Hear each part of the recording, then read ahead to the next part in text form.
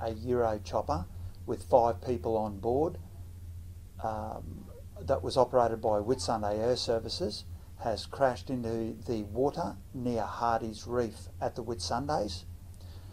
As a result of that crash, a female aged 65 years, a male aged 79 years have deceased. The other three people in the uh, helicopter have survived the crash.